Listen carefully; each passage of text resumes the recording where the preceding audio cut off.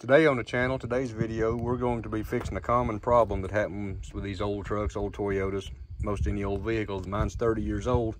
The blower motor is making a horrible noise. We have a new motor, we have a new resistor. Stay tuned, we'll show you how to put them in.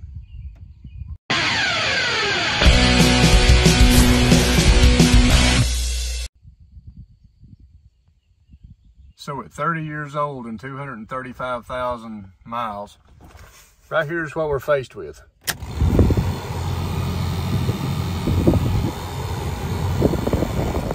And third speed is slower than second. So we're gonna fix all that today. We'll go ahead and show you what tools we need to fix it. So far, we've got a ratchet, an extension with a swivel and a 10 millimeter socket and got a work light because right up in here is where we got to go. Right here, you'll see there's three screws, one here, one over here, and one way back up there, which that's what the swivel's for. Also, right here is the resistor thing that we're going to replace to take care of the uh, fan speed. So, wish me the best. I'm going to try to film part of this while we take it out, but this is real simple. We're going to unplug these wires first. Then we're going to take these three screws right here out and drop this thing down, take a look at what we're faced with.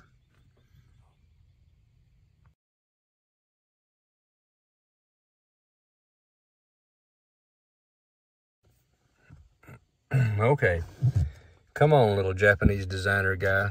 That screw was not even funny. I had to go back and get this, which is not a problem.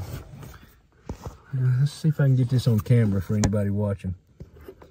Right back up in here somewhere I don't know if I'll ever get that screw back in or not. All the videos I watched, I wonder why nobody, right there it is. Right there, over behind. I had to take the carpet loose. Any video I watched on people doing this, nobody ever showed getting that back screw out. I have now figured out why. Take the carpet loose, fold it down out of your way, because you can't get kind of the fender well and firewall. But um, anyway, three screws. We got two out of three out. Let's go ahead and get the other one out and we'll drop this out. Just want to give a shout out to the little designer guy that put that back in a very awkward place to get to. Way to go, man. All right, we got the motor and the can, uh, fan dropped down out of there. Now, right up there, we need to take those two Phillips head screws out. And you can all see how they're, well, until I cut the light off the low, medium, high. We're going to replace that little thing right there and see if we can't get uh, all three, all four speeds on the fan working again. Well, here's the old motor. Of course, you know, you find what you expect. The fan would be pretty well covered in stuff from the past 30 years. A Little dust. It's semi-free, but you can hear it. I mean, it's served its purpose. Here's the old resistor. And here's the new stuff. Much quieter. So we're gonna go ahead and try to get this back up in there. Like I said, no thanks to the design. I got a few things to say about that. There's a few things, I love the truck, love the way it all works. There's a few things that they did not take into account that might fail in the future, like these simple little things.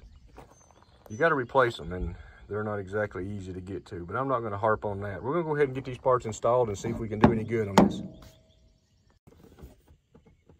And I'm gonna go ahead and throw this out to you all and you all that try this. There is a combination to getting this thing back up in there. One, I've already put the carpet back, but you have to have it rolled out of the way. Number two, when you go to put it in, put the squirrel cage, the fan, put the squirrel cage fan up in there first. Of course, the carpet's out of the way and it'll slide up that firewall. Then watch out for this piece of padding back there. It'll try to catch, but combination is put the box fan in first. Okay.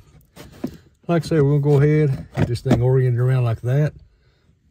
Then we're gonna go ahead and get these screws back in it and we'll see what the results are.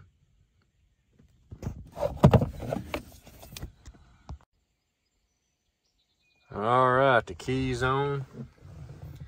The parts are installed. I haven't put the carpet back yet, the parts are installed, plugged up. Let's see what let's see what the results are.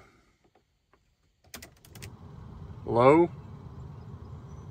little higher, little higher, Oh, it slowed down. That ain't good. And wide open. That's odd.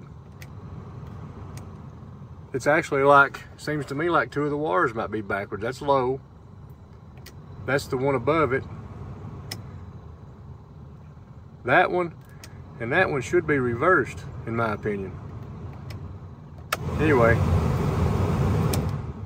at least it blows better than it did and it doesn't make any noise.